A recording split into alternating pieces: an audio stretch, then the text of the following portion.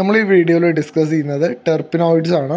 അപ്പോൾ ഈ ചാപ്റ്ററിൽ നിന്ന് ഏറ്റവും ഇമ്പോർട്ടന്റ് ആയിട്ടുള്ള ഒരു സെക്ഷനാണ് ടെർപ്പിനോയിഡ്സ് ആൻഡ് ഇറ്റ്സ് ക്ലാസിഫിക്കേഷൻ പിന്നെ അതിന്റെ എക്സ്ട്രാക്ഷൻ പ്രോസസ്സുമാണ് അപ്പോൾ എന്താ നമുക്ക് ടെർപ്പിനോയിഡ്സ് എന്ന് നോക്കാം terpenoids constitute a large group of compounds widely distributed in the plant kingdom the occur in the various parts of such as flowers leaves fruits stems seeds etc.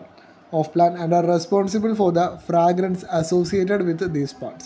അപ്പോൾ പൊതുവേ ഫ്ലവേഴ്സിന്റെ ഫ്രാഗ്രൻസിന് അപ്പോൾ അതിന്റെ ലീഫിന്റെ ഫ്രാഗ്രൻസ് ആവാം അല്ലെങ്കിൽ അതിന്റെ ഫ്ലവറിന്റെ ഫ്രാഗ്രൻസ് ആവാം സ്റ്റെമ്മിന്റെ ആവാം ഏതിന്റെ ആണെങ്കിലും ഒരു പ്ലാന്റിലെ ഫ്രേഗ്രൻസിന് അതിന്റെ സുഗന്ധത്തിന് കാരണമായിട്ടുള്ള ആൾക്കാരാണ് എന്ത്? അതിലെ ടേർപ്പിനോയിഡ്സ് എന്ന് പറയുന്നത്.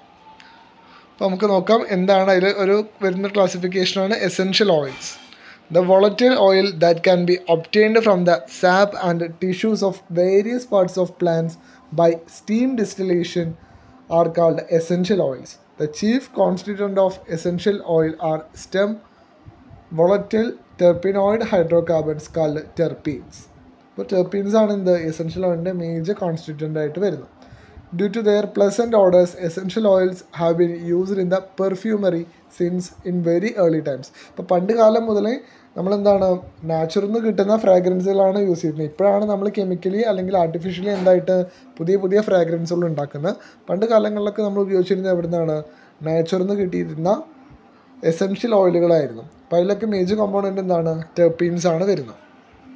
ഈ isolation of essential oils and terpenoids അപ്പോൾ എങ്ങനെയാണ് എസെൻഷ്യൽ ഓയിലുകൾ പ്ലാന്റ്സിൽ നിന്ന് ഐസൊലേറ്റ് ചെയ്തെടുക്കുന്നത് നോക്കാം.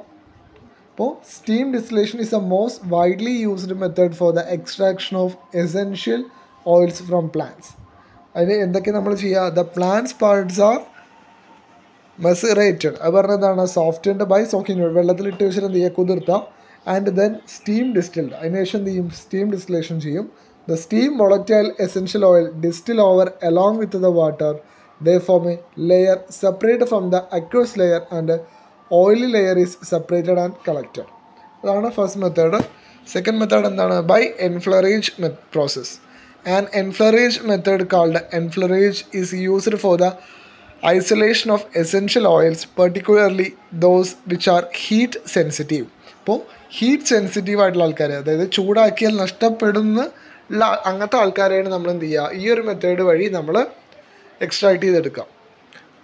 അപ്പോൾ ഇവിടെ എന്ത് ചെയ്യും? The flowers petals are placed for several days between thin layers of purified odourless fat അപ്പോൾ ഒരു മണവും കാര്യങ്ങളൊന്നും ഇല്ലാത്തൊരു ലെയേഴ്സ് ഓഫ് ഫാറ്റിൽ എന്ത് ചെയ്യും? ഈ ഫ്ലവേഴ്സിന്റെ പെറ്റൽസും കാര്യങ്ങളും നമ്മൾ എന്ത് ചെയ്യും? സ്റ്റോർ ചെയ്ത് വെക്കും. ഫോർ സെവറൽ വീക്സ് അല്ലെങ്കിൽ സെവറൽ ഡേയ്സ് എന്ത് ചെയ്യും? നമ്മൾ അതേപോലെ വെക്കും.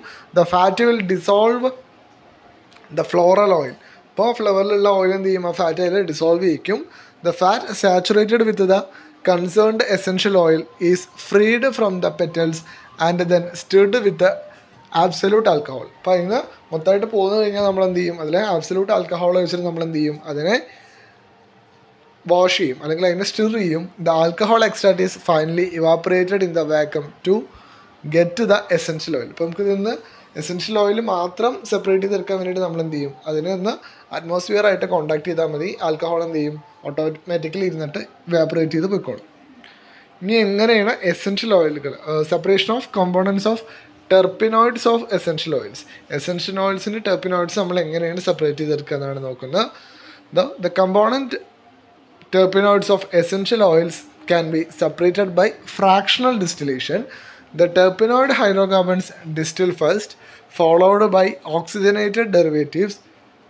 The various forms of chromatography can also be used for the isolation and separation of terpenoids. ഇപ്പോൾ ടെർപ്പിനോയിഡ്സിന്റെ സെപ്പറേഷൻ നമ്മൾ എങ്ങനെ ചെയ്യുന്നത് ഫ്രാക്ഷണൽ ഡിസ്റ്റിലേഷൻ വഴിയാണ് ചെയ്യുന്നത് അതിന് കുറച്ച് എക്സാമ്പിൾസ് എന്തൊക്കെയാണ് സിട്രാൽ അതുപോലെ ലെമൺ ഗ്രാസ് ഓയിൽ ജെറിനോൾ അങ്ങനത്തെ കാര്യങ്ങളൊക്കെ നമ്മൾ എന്താണ് ഫ്രാക്ഷൻ ഡിസ്റ്റിലേഷൻ വഴിയാണ് ഉണ്ടാക്കുന്നത് ഇനി വരുന്നൊരു റൂളാണ് ഐസോപ്രീൻ റൂൾ എന്ന് പറഞ്ഞത്. അപ്പോൾ എന്താ ഐസോപ്രീൻ റൂളിൽ പറയുന്നത്?